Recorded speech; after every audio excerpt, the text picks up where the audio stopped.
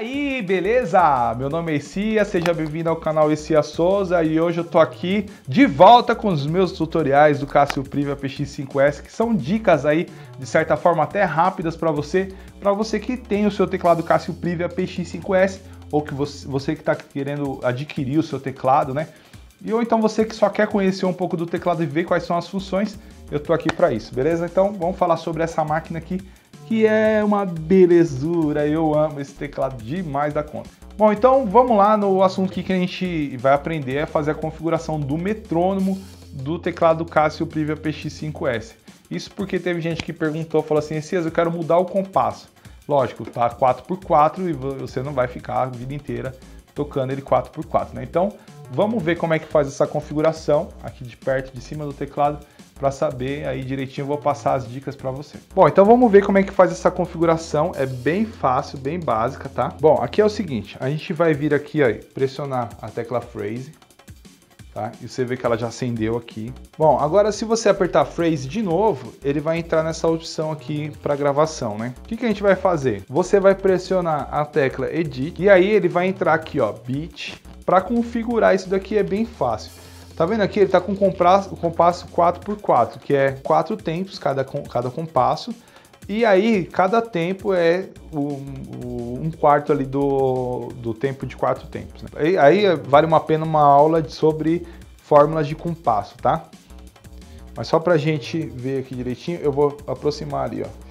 As teclas que a gente vai usar para configurar vai ser o mais e menos que estão aqui, ó. Então é mais e menos aqui do canto, tá? Se essa é a primeira vez que você está aqui no meu canal, é o primeiro vídeo que você está assistindo, todas as semanas eu gravo tutorial de teclado, eu falo sobre tecnologia de música, falo como configura o seu teclado, dou aulas de teclado para você, ensino também como tocar violão, são vários assuntos bem bacana para você. Então para você ficar por dentro de todo esse conteúdo, se inscreve no meu canal, acessa também o meu site www.ecias.com.br onde deixa esse material todo organizado especialmente para você e me segue também nas redes sociais, beleza? Então vamos continuar com o assunto. Então aqui ó, tá 4x4, o que eu vou fazer? Eu quero 2x2, eu venho para baixo, menos, menos, 2x2, 2x2 não, perdão, 2x4, né?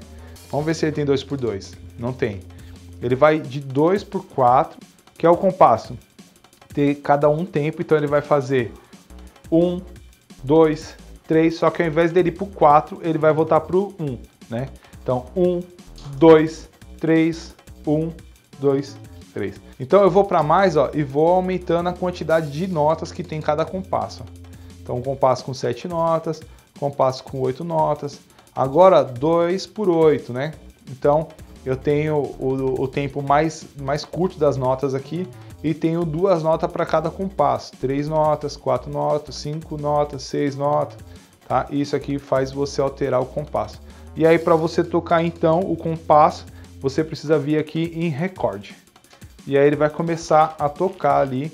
Eu não consigo gravar para você escutar, né? Mas para você só saber como é que faz aí no seu teclado, beleza? E é isso aí! Se você gostou desse vídeo, deixa aquele like aqui para mim, compartilhe esse vídeo com seus amigos, favorita esse vídeo na sua playlist. Se você tiver alguma dúvida, crítica ou sugestão, deixa um comentário aqui para mim que eu vou responder para você com toda certeza.